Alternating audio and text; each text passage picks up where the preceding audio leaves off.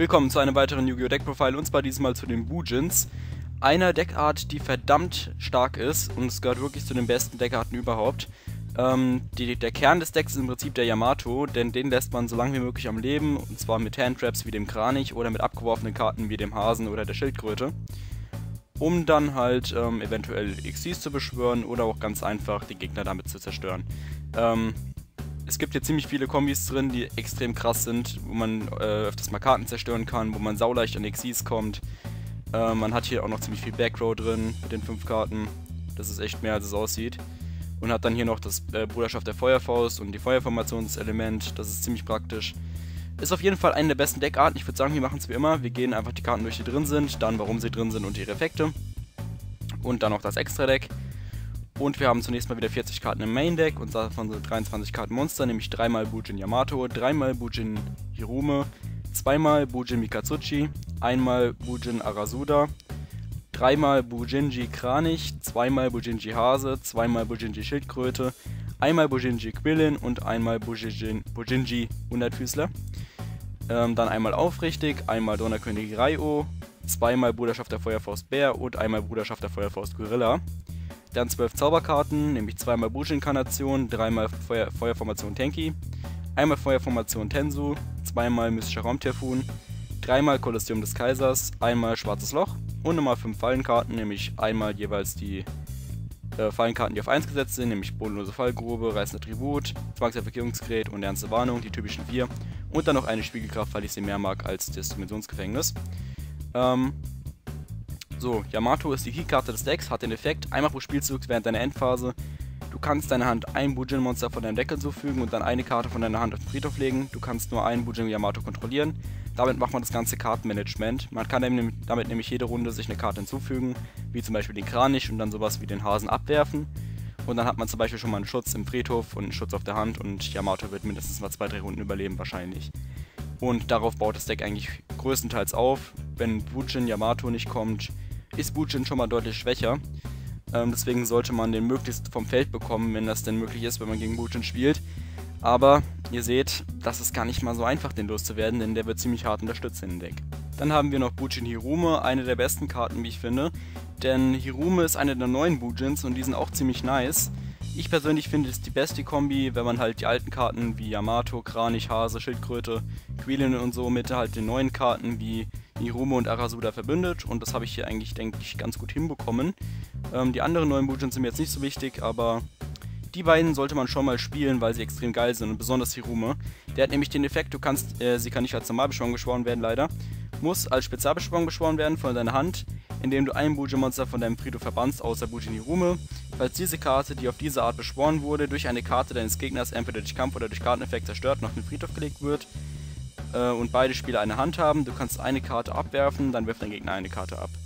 Ähm, das ist eigentlich ein ganz praktischer Effekt, weil man dadurch so Sachen wie Hase in den Friedhof bekommt und der Gegner macht dann noch Minus. Ähm, aber in erster Linie ist Bujin Hirume halt für seine Spe äh, Beschwörung an sich halt im Deck. Denn das ganze Deck ist auf äh, Stufe 4 gemacht. Eigentlich jede Bujin-Karte ist Stufe 4.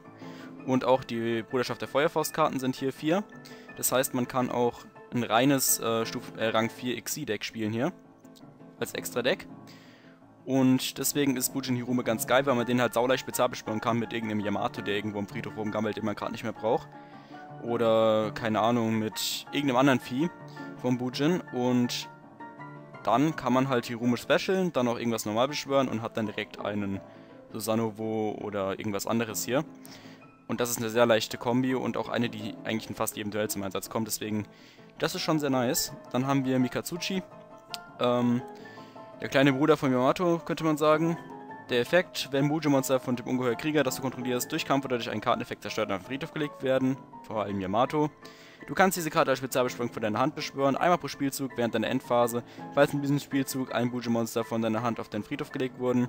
Solange du diese offene Karte kontrolliert hast, du kannst deiner Hand einen Bujin-Zauber der Fallenkarte von deinem Deck hinzufügen.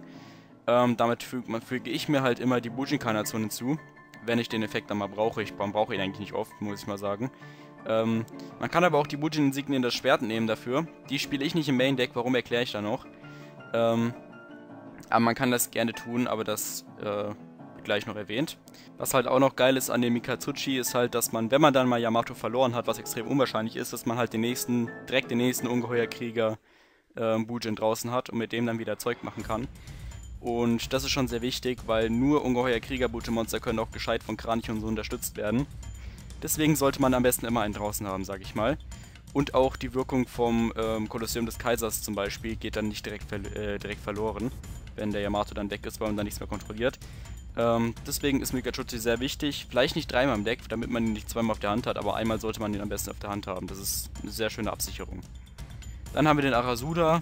Den spiele ich nur einmal, weil ich ihn nur einmal brauche, aber einmal sollte man den schon spielen, weil er gar nicht so übel ist. Falls ein Buji-Monster, das du kontrollierst oder das sich auf deinem Friedhof befindet, verbannt wird, du kannst diese Karte als Spezialbeschwörung von deiner Hand in die offene Verteidigungsposition beschwören.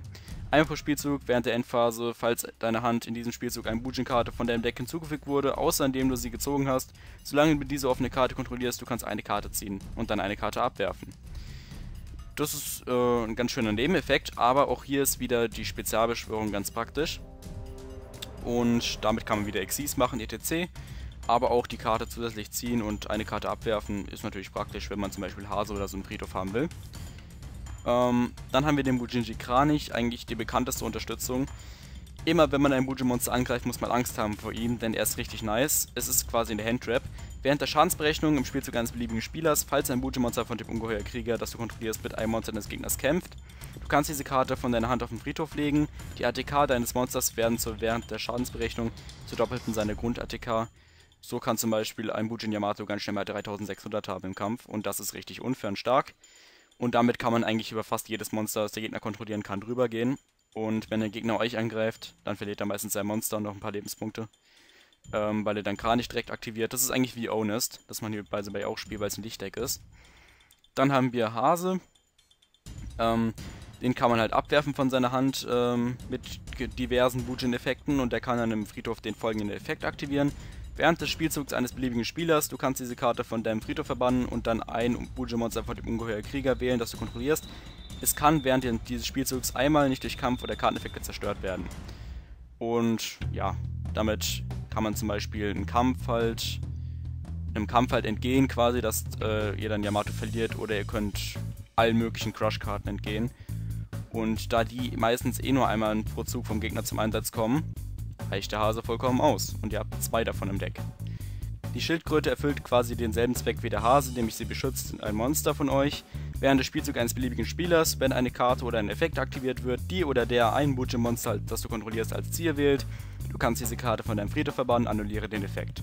Damit kann man ebenfalls alle möglichen gefährlichen Effekte halt loswerden, besonders halt die Zerstörungseffekte, die Yamato loswerden könnten. Dann haben wir den Quillin, der kann vom Friedhof verbannt werden, um ein äh, Monster vom Gegner zu zerstören.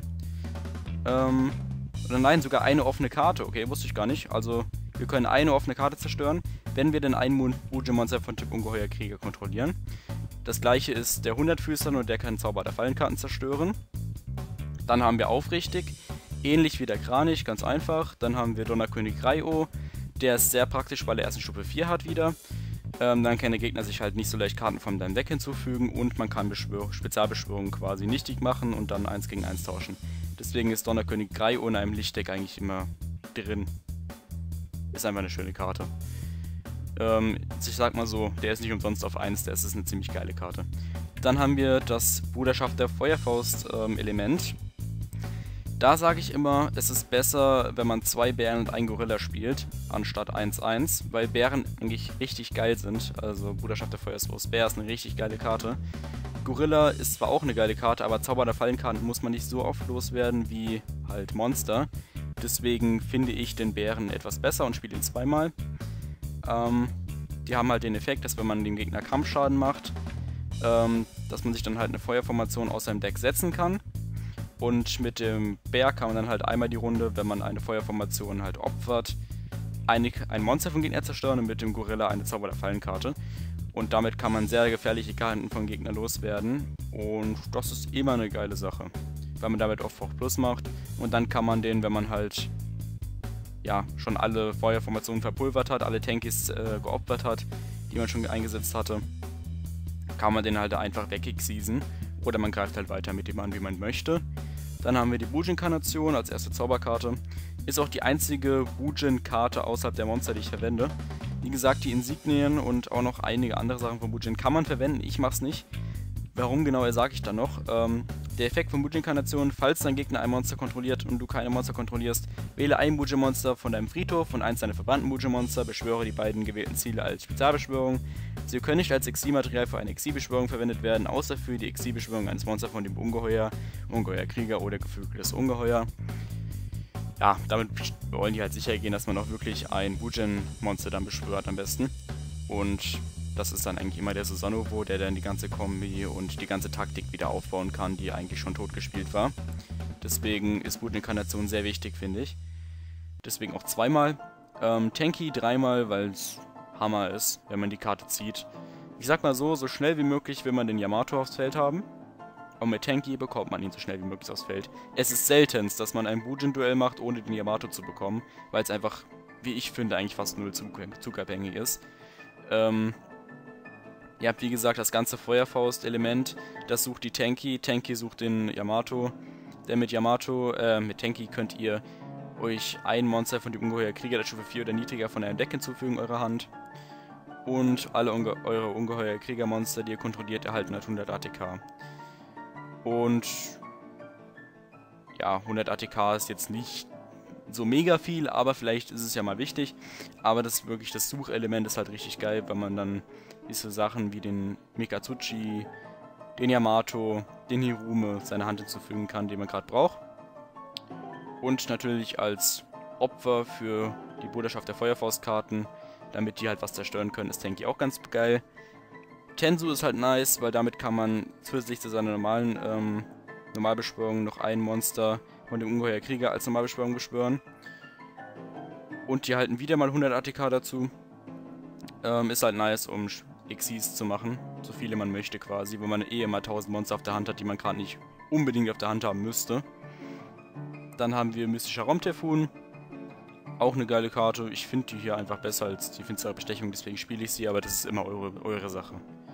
Ist eure Entscheidung. Ihr könnt auch jede andere ähm, Karte wählen, die halt Zauber der Fallenkarten zerstört. Aber Mystischer Raumtyphoon und finstere Bestechung sind eigentlich die besten. Und deswegen Typhoon in diesem Deck. Keinen tieferen Sinn hinter. Wir können genauso gut finstere Bestechung spielen. Kolosseum des Kaisers ist mein Geheimtipp und es wird auch von ja, recht vielen gespielt in einem Bujin-Deck. Gerade weil man halt im Bujin-Deck meistens nur einen Yamato auf dem Feld hat oder vielleicht einen Susanovo. Und mehr nicht und deswegen kann der Gegner dann halt nur ein Monster beschwören. Der Effekt genau ist, wenn sich ein oder mehrere Monster auf der Spielfeldseite des Spielers, der diese Karte kontrolliert, befinden, kann sein Gegner keine Monster als Spezial äh, kein Monster auf das Feld bringen, wenn er dadurch mehr Monster auf dem Spielfeld haben würde als der Spieler, der diese Karte kontrolliert. Karten, die sich vor der Aktivierung dieser Karte auf dem Spielfeld befunden haben, bleibt von diesem Effekt unberührt. Sprich, der Gegner kann nicht mehr Monster kontrollieren als ihr, wenn ihr schon Monster habt.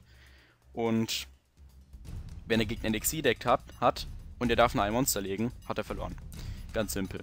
Dann haben wir Schwarzes Loch, zerstöre alle Monster auf dem Spielfeld, fast in jedem Deck drin. Ähm, genauso wie die vier Fallenkarten auf 1 und die Spiele Spiegelkraft und nicht das Dimensionsgefängnis. Aus dem einen ganz einfachen Grund, dass ich sie mehr mag, aber sie sind wie gesagt gleich gut. So, jetzt aber zu Bujin Insignien das Schwert. Eigentlich eine gute Karte, aber ich habe sie nicht drin, weil ich wirklich penibel achte auf die 40 Karten. Das ist eigentlich dumm. Man könnte genauso gut so spielen, das Deck wäre genauso gut aber ich weiß nicht, ich habe die Erfahrung gemacht, dass 40 Karten einfach am geilsten sind. Aber das ist ganz mein eigener Fetisch. Ihr könnt auch da ruhig bis zu 45 Karten, sage ich mal, ist vollkommen okay. Ähm, aber die 40 Karten ist halt so meins. Deswegen Mujin Designi das Schwert. Meinetwegen einfach so machen, wenn ihr das wollt. Meinetwegen auch dreimal. Das ist eure Entscheidung. Der Effekt dieser Karte ist folgender. Wähle ein Bujin-Monster in deinen Friedhof, füge das gewählte Ziel deiner Hand hinzu. Wähle einen deiner verbannten Multimonster, lege das gewählte Ziel auf den Friedhof. Das ist einer der beiden Effekte, die man aktivieren könnte. Ähm, kann man halt immer aussuchen, was gerade wichtiger ist. Damit kann man sich halt immer was recyceln. Finde ich jetzt nicht unbedingt ultra wichtig im Main Deck, da ich eigentlich immer genug habe. Muss ich jetzt mal ganz ehrlich sagen, ich brauche die jetzt nicht zwingend. Aber es ist immer noch eine gute Bujin-Karte und wie gesagt, wenn man mehr als 40 Karten spielt, standardmäßig, dann kann man auch ruhig die Bujin Insignien das Schwert ein, zwei Mal reintun. Vielleicht auch dreimal, wenn man Bock hat. So, dann kommen wir mal zum Extra-Deck, wieder mit 15 Karten, wie ihr es von mir gewohnt seid. Äh, nämlich Nummer 103 Ragnar 0, Nummer, äh, Nummer 50 Schwarzes Maisschiff, äh, zweimal Nummer 101 Lautlose Ära Arc, übelstärkste Tonritter, Maestro und der Dirigenten-Jin, Gaga Cowboy, Laval Wahlkette, Diamant Dialwolf, dreimal Wujintai Susanoo, einmal Bruderschaft der Feuerfaust Tigerkönig und noch zweimal Bujintai Kakutsuchi. Ähm, Ragnar 0 ist dafür da, um halt Monster, die sich boosten, zu zerstören, ganz einfach. Und wenn der Gegner zum Beispiel eine Spielfeldzauberkarte hat, die all seine Monster boostet, kann man halt mit Ragnar 0 aufräumen, dann sogar noch Karten nachziehen. Ist eine sehr schöne Sache. Dann haben wir das Maisschiff. Ähm, ist ziemlich praktisch, um über so Sachen wie zum Beispiel Marshmallow oder so drüber zu gehen und dem Gegner dann sogar noch sicheren Burnschaden zuzufügen. Damit kann man sogar auch mal den Finisher machen. Geht auch. Ähm, Nummer 101 laut Serie Arc spiele ich zweimal, weil ich es oft zweimal brauche und das ist einfach so mächtig. Warum nicht zweimal spielen? Wir haben genug Platz hier drin. Exitorenritter, Feldnuke, ähm, Dirigenten-Gin, um über äh, verschiedene Monster drüber zu gehen, wo man halt mit den anderen Monster vielleicht nicht unbedingt drüber gekommen wäre. Gaga Cowboy, Finisher. Labalval-Kette ist hier ganz praktisch, um, zu Sach um so Sachen wie den Hasen oder die Schildkröte in den Friedhof zu bekommen. Und äh, der Dialwolf ja, wenn man eh schon mit Ungeheuern spielt, wie zum Beispiel den Hasen oder so, kann man den auch schön nutzen und die Monster landen dann im Friedhof, wo sie sich nochmal gut einsetzen lassen. Susanovo ist das beste Bujin XY-Monster mit Abstand. Ähm, das kann in einem Duell locker den Yamato ersetzen und das finde ich ziemlich nice. Der Effekt, diese Karte kann alle Monster, die den Gegner kontrolliert, einmal angreifen. Das ist ziemlich krass, zum Beispiel gegen Genrio. Einmal pro Spielzug, du kannst ein XC-Material dieser Karte abhängen, nimm ein Buji-Monster von deinem Deck und füge es entweder deiner Hand hinzu oder lege es auf den Friedhof. Ähm, du kannst nur einen Bujin-Teil Susanoo kontrollieren. Ähm, der Effekt ist ähnlich wie bei Yamato, dass man nur einen von denen kontrollieren kann und man braucht nur einen. Und wenn ihr beide einmal auf dem Feld habt, habt ihr so ein geiles Management an Karten, dann ist es wirklich schwer für den Gegner noch zu gewinnen. Ich finde Susanoo eine ziemlich nice Karte und dreimal sollte man ihn spielen, weil man ihn manchmal sogar dreimal braucht. Und die Karte ist richtig, richtig gut. Richtig gut. Der Tigerkönig ist die letzte Bruderschaft der Feuerfausthilfe, die das Deck benötigt. Ähm, die ist ziemlich nice, weil ihr damit halt extra eine Feuerformation bekommt, wie Tanky. Und ihr könnt damit auch die Effekte aller offenen Monster halt annullieren bis zum Ende des Zuges. Bis, ungeheuer, bis auf ungeheuer Kriegermonster, das heißt so Sachen wie Yamato werden nicht davon betroffen. Und deswegen lohnt sich die Karte auf jeden Fall einmal im Extra-Deck. Ähm, Kakutsuchi darf 5 Karten abwerfen, dadurch landen so Sachen wie Hase auch mal am Friedhof.